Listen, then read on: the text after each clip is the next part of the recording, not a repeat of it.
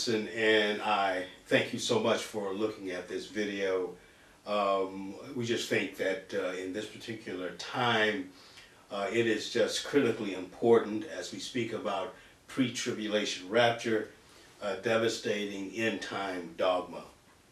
So, uh, in so doing, we want to do it uh, in very short order and give you an opportunity to study yourself uh, with this particular topic. We understand that in conservative theology, that pre-tribulation rapture uh, has been the vanguard, as it were, uh, certainly in the Protestant movement. We recognize that. Uh, but we also uh, have to be able to continue to explore Scripture. By the way, we want to be very clear here. There's no question about whether or not rapture will take place.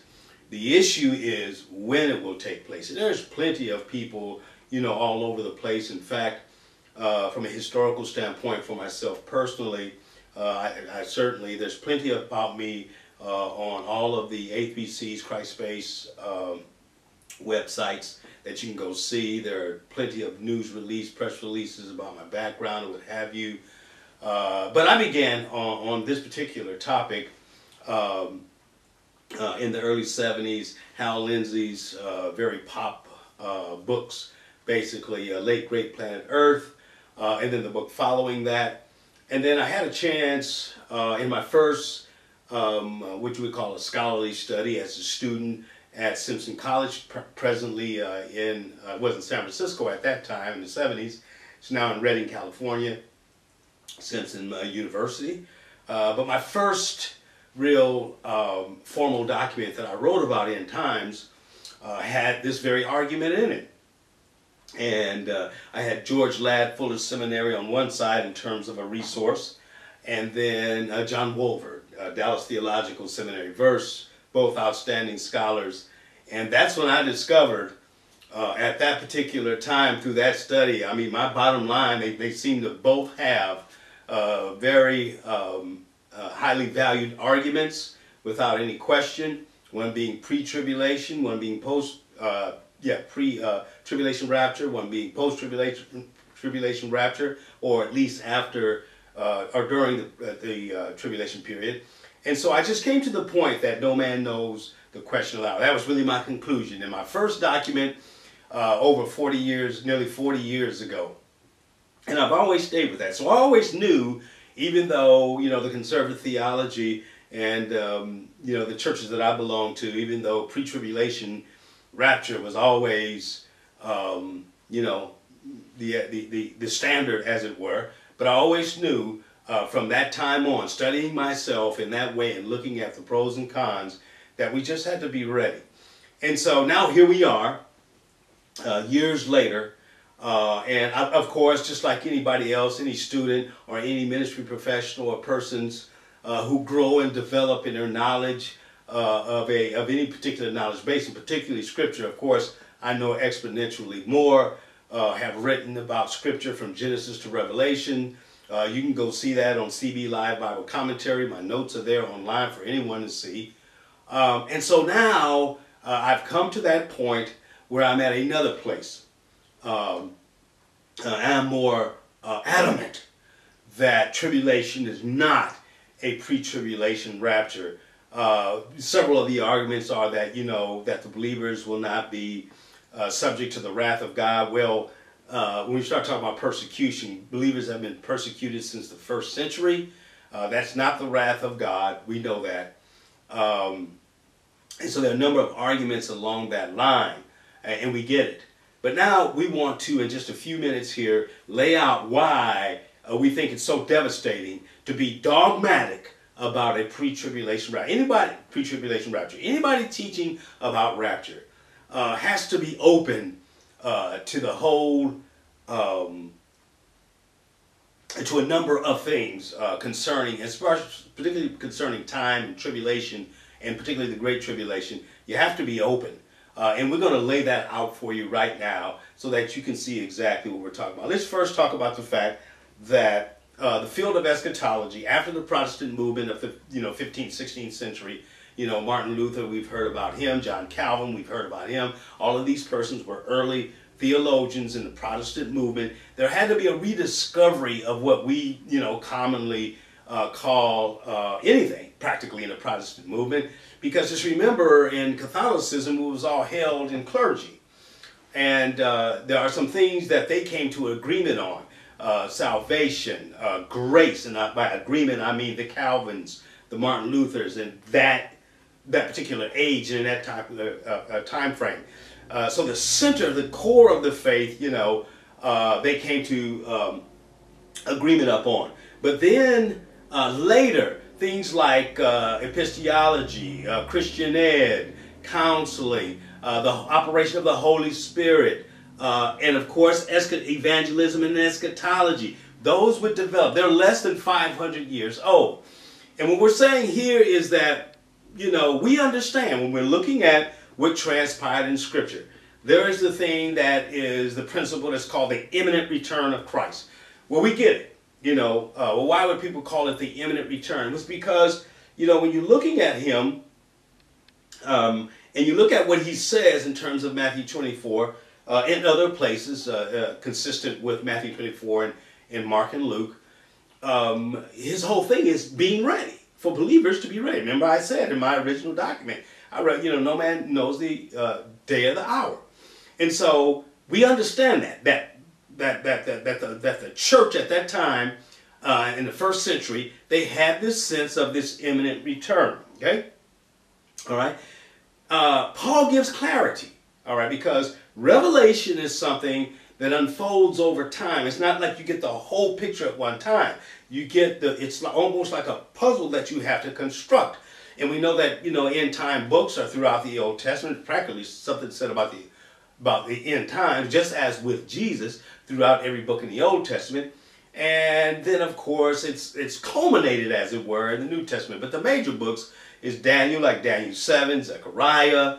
Uh, of course, you're going to have Matthew 24. If you're going to have Thessalonians chapter 1, verse 4, Thessalonians chapter 2, 2, you know, that we'll get into. And of course, it's all culminated in Revelation. So we want to say, so we're saying here that you have to put the whole thing together. And then when you get the knowledge base of this information, you, you then have to change your view based upon getting a clearer, clearer view of everything that's transpiring. Okay? So, so Paul gives us this clarity as we get to First Thessalonians. Now, interesting enough, Jesus did mention something that could be that could be construed or are interpreted as as as rapture. Because people say, well, Jesus didn't say anything about rapture. Well, he did. He just used a different term. We get to Paul. Paul gives the clarity. Believers are dying. We're in 1 Thessalonians 4. And they have a great concern. So he begins to write and he tells them, you know, they're being persecuted. They're beginning to die. They're waiting. It's been told, be ready, that the Lord could come anytime. So he gives some clarity. There's going to be a rapture. Um, believers are dying. They'll be caught in the air uh, with those who have died in Christ. Okay? So let's keep that. He gets to Second Thessalonians, he gives even more clarity because now it's like, well, when is this stuff going to happen? So Second Thessalonians 2 begins, well, first there's going to be this great falling away. And then the appearance of the man of lawlessness, okay? All right, that's, so we're kind of giving you the background as we go here. So like we said, all prophecy, it develops over time. Now, in the chronology of books as they're written, the final books are the epistles of John and the book of Revelation. And I submit to you that when these books were written, particularly Revelation, it should have corrected any thinking or thoughts that believers had about when Jesus would return. Does G, do we did it mean that it canceled out what he said? No but it just gives perspective to what Jesus said. Okay? Jesus says, be ready. Matthew 24, all of these things are going to transpire. Then Revelation comes and helps to give some perspective to that. All right? Revelation helps to give perspective to what Paul has said. Okay? So that we can, so that uh, we're, we're not misunderstanding. There are certain things that have got to happen first. They have to transpire first. All right? So here comes uh, Revelations. And one of the uh, of the many things that said there, the one that we want to uh, exercise here uh, in making our point about, about uh, pre-tribulation rapture being a devastating doctrine, we want to uh, highlight this particular experience in the book of Revelation. It's in chapter 6. Now, uh, I, I, do have to back up just a little. Um, I am one of all people that says when you're going to learn from Scripture, teach books. All right, teach books. If you're going to learn to just be discipled and develop as a believer, teach whole books. Don't just pick verses or what have you. Eschatology, you can read a whole book, but it happens to be one of those books where you do have to study, place the puzzle together, the revelation of God together, and then try to come up with a conclusion, and that's what we're doing now. But for all intents and purposes, we typically study from a book, try to get points from a book, from major passages from a book. We may get references, but we study from a major book, so we're not getting the scripture to say what we want to say. But eschatology is a bit different. Yeah, you can read the whole book of Revelation, but you need to know the sum total of all scripture and bring it into play, and that's what we're doing here. So as we continue, Matthew, uh, uh Revelation 6, there is an experience where the saints are asking when they will be avenged. All right, and the response to them is for them to rest until the remainder of the martyrs also uh, return, until the remainder of the, to the martyrdom is completed. So you've got these saints who are asking. Now they're in a place where they can communicate.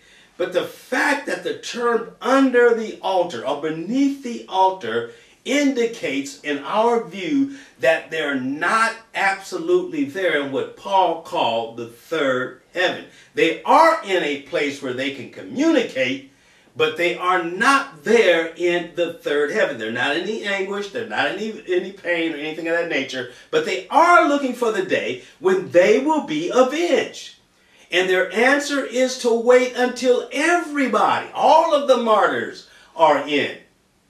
So, all right, so where are these people if this is the particular situation? Well, recall that um, that when Jesus dies, all right, all of the saints before him, they are in a place called Hades. You can also refer to it as hell.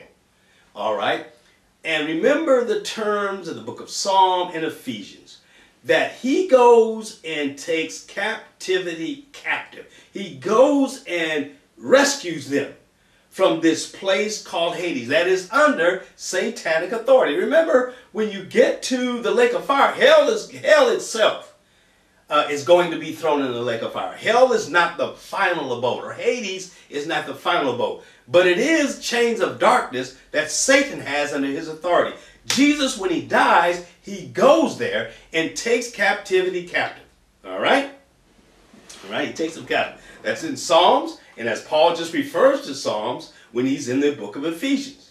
Now, where do they go? Where do these saints, the Davids and the Moses and the rest of them go? Do they go to the third heaven? No, they don't go to the third heaven. They can't yet. They're not prepared yet. It's not time yet. Okay? So where do they go? Remember Jesus on the cross in the book of Luke. Uh, remember there's the one thief who admits we've done what we've done, but this man has done nothing. And remember, looking upon Jesus, he asks, Will you remember me? And Jesus tells him, This day you will be in paradise. The word paradise is like parable. Anytime you see para, is like something at the side of something. It's not the thing, but it's at the side of it. And dice is almost like a park, like para, a park at the side, a place of beauty at the side. Now, people talk about you know, the different heavens. Paul was called up to the third heaven. Remember that? And so people say, well, what are the first and the second and the third? Well, I believe that the first heaven is is this this the earth, the skies, and into space. Now, some people believe that space is the second heaven, but I don't. I believe that the second heaven is the paradise that Jesus is talking about, where the saints of God go, who are um, who are, have been taken captive, captive by Jesus and placed in this place of extraordinary rest, waiting for the resurrection of all saints. All right, now that's a that's a term. Watch this: resurrection and rapture is the same thing. Okay. All right, it had the rapture hasn't taken place yet, but they are there, and like this thief, he also is going to be there, those who believe, because Jesus has gone down to hell, brought all the saints up, and they are in this place. They are the same ones who are asking, when will we be avenged? Particularly those who were killed, who were martyred for the sake of God. And he is telling them rest. But like I said, they are under the altar in Revelation chapter 3, meaning they're not in the third heaven, in our view, they're in the second heaven. Okay? And again, these persons, these saints have not been translated yet. Now, by translated, remember, John says, all that we know is that when we see him, we shall be like he is. Paul says in 1 Corinthians chapter 15 thereabout, we shall be changed in the twinkling of an eye. And all of that has not transpired with the saints who have died, all right, before Christ, and all of the saints who have died since Jesus has died, and they have not quite yet been called up in the air, as Paul said, and changed in the twinkling of an eye. That has not happened quite yet. Now, so we get to Revelation chapter 13 and 14. Of course, Revelation chapter 13, that's where you've got the dragon and the beast and the introduction uh, of the, um, uh, the 666, uh, the combination of commerce, religious leader, um, military leader, and like I said, in commerce, and the complete control all of over all the earth. And in chapters 13 and 14, and of course, and it says in 13 and 14, he overcomes the saints. It says the uh, that, that the power of the unholy trinity, particularly the lawless one, overcomes the saints. And in 13 and 14 it says, this is a time of faithfulness for the for the saints to demonstrate faithfulness. Okay? They've got to do that. Now, some are killed, but it also appears that some are jailed and destitute as well during this particular period. Okay? Now, almost like a movie that shows the end of a story You've seen that before where there's a movie, it shows you the end. The plot is the end of a story. And then as it, it, it goes, begins to tell the story to, to demonstrate how this end happened. Well, we have the same kind of thing in Revelation. When we're looking at chapter 13 and 14, we already know how it's going to end because, you know, back in chapter 7, we've got an extraordinary scene. All right, there is a scene of 144,000. Okay? All right, in this extraordinary worship of God Almighty. There's 144,000. And it is the 12 tribes of Israel. Now, there are persons who believe that after, who have a pre tribulation thought or pre tribulation position, they say that the Jews, once the church is taken out, then the Jews will take over, and they're the ones who are being persecuted that we see here in chapter 13 and 14. Well, I beg to differ. I believe, yes, that the Jews do come to a place where they recognize that Jesus is the Messiah that they've been looking for. And that's represented in the 144,000. Whether you believe that's a precise number or whether you believe that's a figurative number, but that is there in the seventh chapter. But then there is also a number of every nation, of every tongue, and it is innumerable. That is more than just the Jews. It's this incredible number who are, uh, uh, you know, as John is looking at it, he wants to know who are these. He saw the 144,000, but then he wants to know who are these? Every nun, every tongue, every nation. They, they are the ones who have had, who have white robes washed in the blood of the Lamb. And the answer is, these are they who came out of the pressure, the great, the pressure, the mega. All right. And the pressure, the mega, is what we translate as the Great Tribulation. Now, it's very important here to understand that almost every one of the Bible versions, King James, uh, ESV, uh, New American Standard, Living Bible, almost every one of it has it correctly translated, ek, out of, out of the Great Tribulation. They were brought out of the Great Tribulation. Okay? Out of means they didn't go through. That's a different word in the Greek, a different preposition. They came out of. And every version of Scripture is consistent with this. These are they, this incredible number that came out of the great tribulation. How did they come out of the great tribulation, we ask? They came out of the great tribulation. These persons, remember we said 13 and 14, who have persevered. It's a time of faith. We believe they were brought out through tribulation. Tribul, uh, excuse me, through rapture, through rapture, through the rapture. Through what Jesus calls, see, some people said Jesus, uh, never talked about rapture. Remember when he was asked about this, this parable about marriage, and uh, the Pharisees were trying to trick him, and uh, they said to him, uh, gave him this silly uh, parable, and illustration about this fella uh, dying and his brothers all married the wife. Well, they were trying to defeat uh, the principle of resurrection, and they said, okay, well in heaven, who's going to be her husband? Since she married all seven of these brothers, these other brothers. And he said, you know, you guys think you know the scripture. You really don't know scripture because in heaven, all right, we are no longer marrying or being married because what? We are, that is being, we are in the angelic platform, what I call the angelic platform. Okay? When, so we won't be marrying and giving in marriage. All right? And then he continues in that same parable by saying in the resurrection, there is no longer marrying or giving. There it is. In the rapture, when the everyone is when when the believers are raptured, the word for resurrection, raptures, raptures, resurrection, they won't be there. They're going to be in angelic form, all right, what I call and in the Jesus configuration. Angelic form, Jesus configuration. Okay?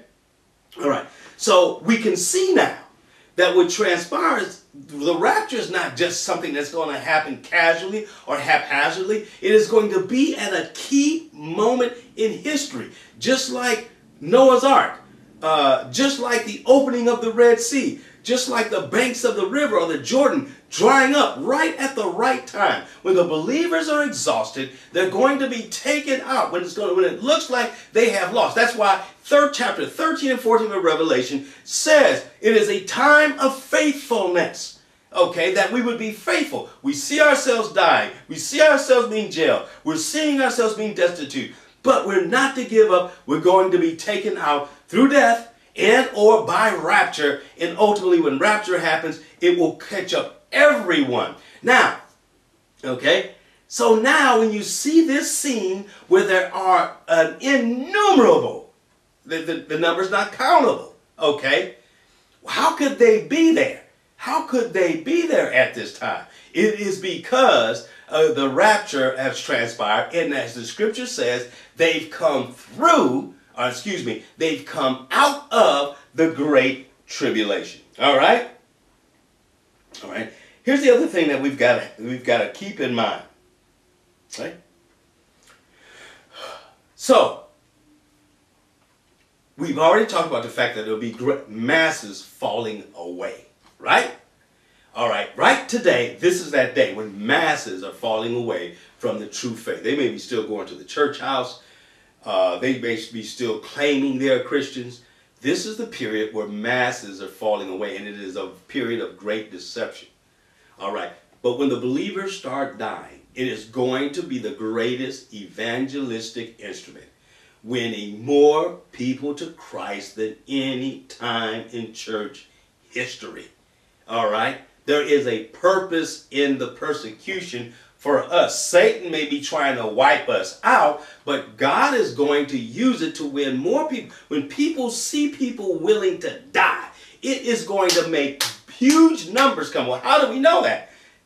The Revelation chapter 7. This incredible number does what? Comes out of tribulation. So right before tribulation, apostasy.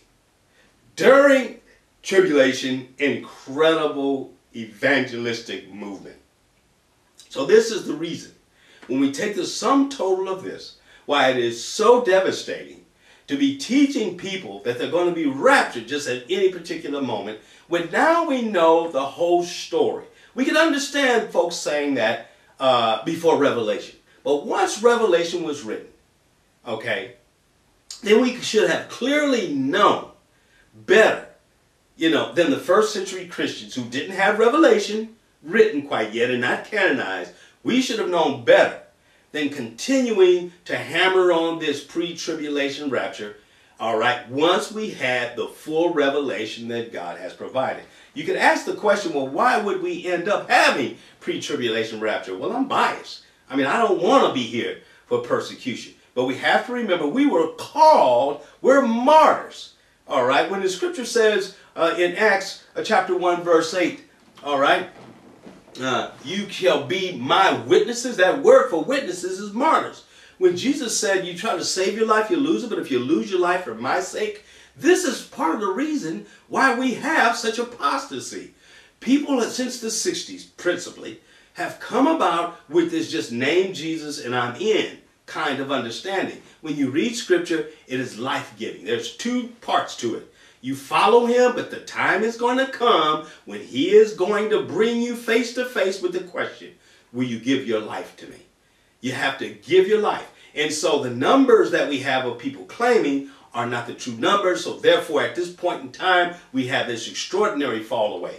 And when you place it with all of the other information that is happening, our technologies, the condition of the world, degradation of our faith, you know, our persons who claim the faith, the false rise of false prophets in extraordinary numbers, you can understand why the, the apostasy is in place. And we're waiting now for the unfolding of the lawless one, for the revealing of the lawless man.